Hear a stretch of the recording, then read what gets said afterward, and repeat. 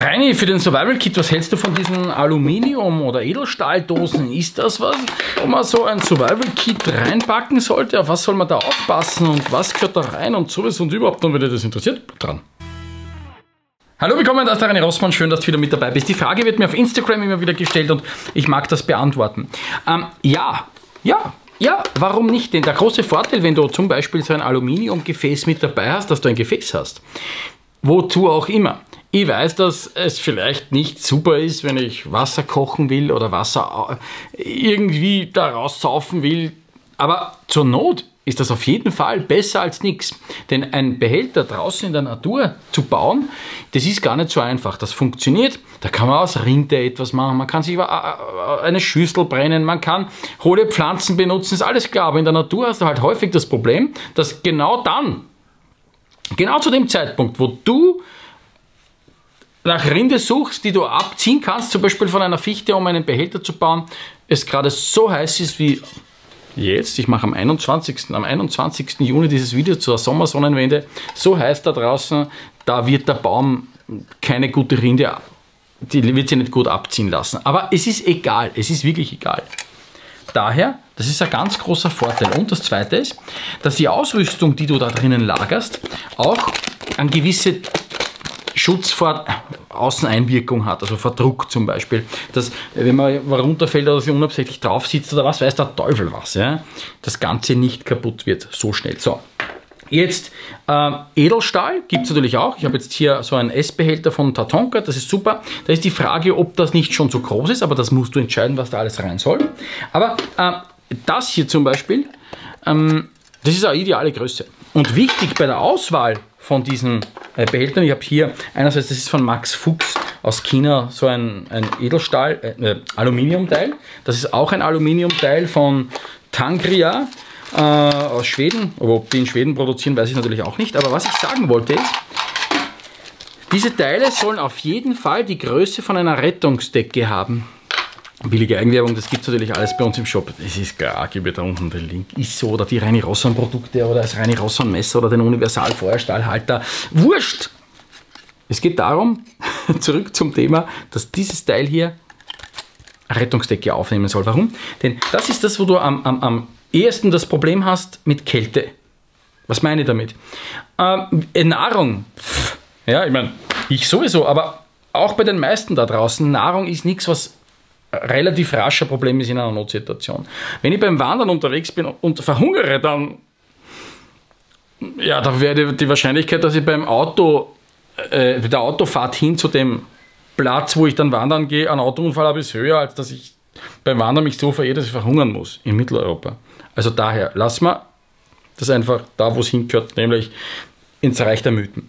Was aber relativ rasch ein Problem ist, das ist Kälte, die Unterkühlung, weil ich meine Kerntemperatur, meine Körpertemperatur auf Level halten muss. Und dazu sind einerseits Feuerzeuge sinnvoll. Ja. ja. Dazu sind Universalfeuerstahlhalter interessant. Nein, der Feuerstahl dazu, dass ich Feuer machen kann, das ist das, das, eine. Aber oft geht das gar nicht, weil es so windig ist, weil es so kacke ist, weil es so grausig ist oder was auch immer. Dann ist das hier das Element, das du auf jeden Fall brauchst, habe ich schon oft ein Video dazu gemacht, zum Beispiel oben beim i-Klicken zu diesem äh, Schlafsack hier.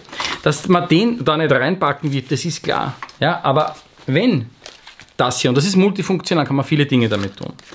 Bei diesem Teil hier würde ich das aber nicht empfehlen, weil einfach zu wenig Platz dann in der Schachtel übrig bleibt. Die sind eh nicht druckempfindlich, dann würde ich das außen hingeben da die Sachen rein, die du halt äh, verpacken willst. Dann musst du, machst du hier zu und gibst einen Gummiring, so ein oder was auch immer da drüber und verbindest die gemeinsam. Denn diese Teile da, die sind nicht schlecht, aber wie du siehst, auch nicht so gut. Das heißt, die könnten dann unabsichtlich aufgehen und daher, die muss man sowieso mit einem Gummi äh, fixieren und da packst du das da unten drauf und alles ist gut. So. Also das ist die Möglichkeit. Was gehört noch rein? Also wir haben jetzt darüber gesprochen, dass ähm, das Thema äh, Wärmeerhalt für den Körper einfach das Wichtigste ist. Das ist ganz oben auf der Prioritätenliste. Dann Erste Hilfe, über das rede ich da jetzt nicht, weil ich werde nicht anfangen und meine Erste Hilfe da reinpacken. Das ist ein extriges Backerl, das ich habe. Also Erste Hilfe lasse ich jetzt auch weg.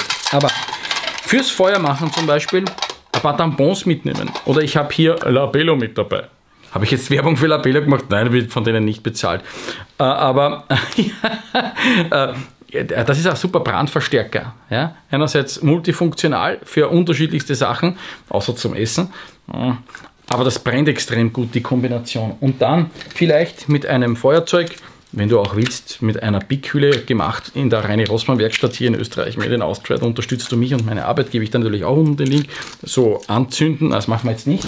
Oder wenn du es einfach ein bisschen rustikaler haben willst, dann vielleicht mit einem Feuerstahl und eine Rossmann Irbis oder irgendeinem anderen Messer, ja, also das hat man dann nebenbei.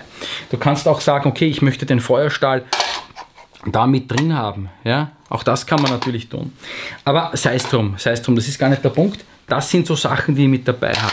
Im Winter würde ich mir vielleicht, und wenn, ich, wenn du davon ausgehst, dass du in kühler und feuchter Temperatur unterwegs sein musst dann, und das mit dem Lockenmachen nicht so drauf hast, dann würde ich mir das da mitnehmen. Ja, pass auf, ich, ich meine das echt ernst. Also du kannst eine reine Rossmann Irbis kaufen. Mach das, aber kauf da auch einen Spitze. Beides, ja. Dieser Spitzer, den nimmst du, gehst raus in den Wald, brichst eine Fichte oder irgendetwas anderes, ein, ein, anderes Holz ab, das tot ist. Da dürfen keine grünen Blätter drauf sein, ja? sondern ein abgestorbener Ast, da ist am besten die Rinde schon runter, schiebst das rein und machst, dann machen sie solche und dann dazu noch ein bisschen Labello, dann einen Tampon aufmachen, das mache ich jetzt nicht und dann, und dann entweder Ratsch mit dem Feuerstahl oder Ah, mit dem Feuerzeug. Bei Wind ist es ein bisschen blöd, also da braucht man Windschutz. Aber du weißt schon, was ich meine. Ausrüstung hilft dir in Extremsituationen besser durchzukommen. Ich meine, die Wahrscheinlichkeit, dass ich das brauche, ist natürlich auch gering, aber verhungern in Österreich beim Wandern eher nicht. Was ich dann auch gern dabei habe, sind irgendwelche Plastiksackerl, die kann man immer wieder brauchen.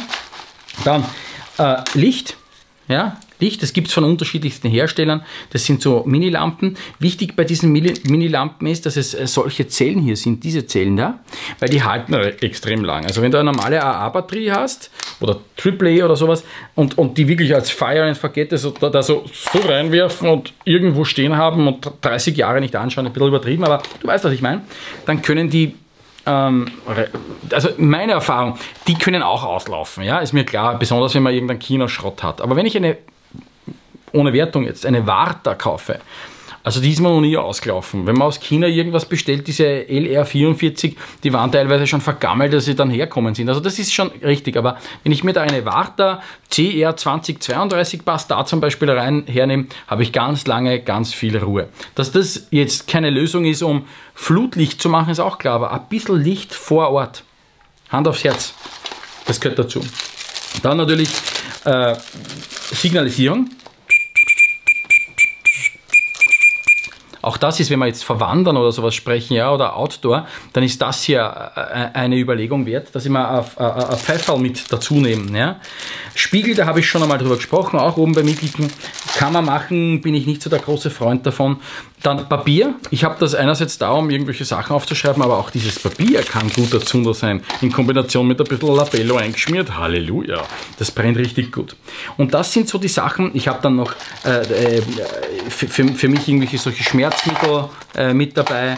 Dann, äh, man kann auch dazugeben, Wasseraufbereitungstabletten von Katadyn, aber aufpassen, die haben natürlich eine Haltbarkeit, wobei da kann man auch ein bisschen drüber gehen, also muss man auch jetzt nicht so, so äh, tragisch sehen. Aber im Endeffekt, mir geht es darum, dass ich äh, meine Körpertemperatur aufrechterhalten kann, dass ich äh, dann auch da drinnen in diesem Teil Wasser aufkochen kann, um etwas Warmes zu trinken. Denn schau noch einmal, wenn ich heute beim, am 21. Juni ein bisschen spazieren gehe im Waldi und ich tue mich ein bisschen verirren ja, und ich habe kein Handyempfang, was eh schon fast unmöglich ist, aber es gibt auch Funklöcher, ja? besonders auf Val de la Pâté.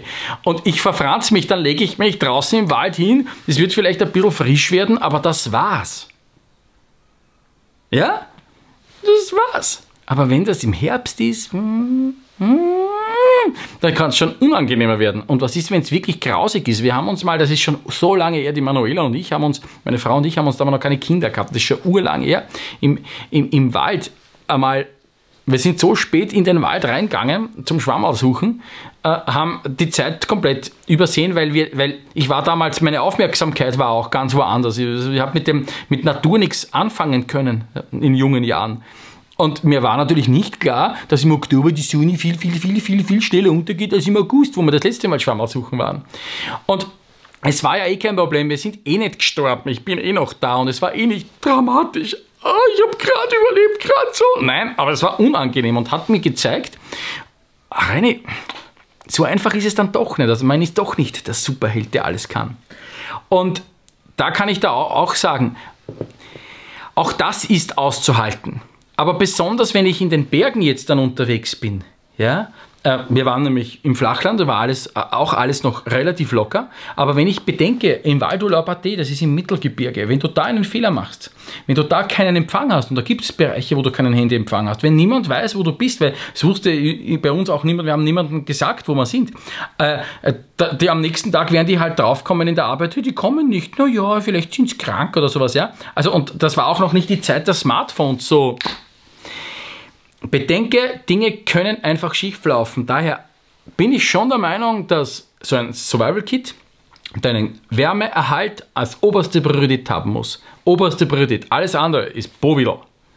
Das heißt, Rettungsdecke, Feuer machen, vielleicht ein bisschen was äh, kochen und daher finde ich diese Aluminiumteile hier oder wenn du willst auch Edelstahlteile und kommt darauf an, was du da alles reinpacken willst, äh, durchaus in Ordnung und eine gute Lösung. Letzter Punkt, dann halte ich es mal, ich verspreche. Ähm, eine Sache muss natürlich auch klar sein. Umso größer du dein Kit machst und umso komplexer und umso mehr Eventualitäten du im Griff haben willst mit Ausrüstung, umso schwerer und größer wird es und umso eher ist die Wahrscheinlichkeit, dass du es dann nicht dabei hast, wenn du es brauchst. Das heißt, äh, klein ist schön.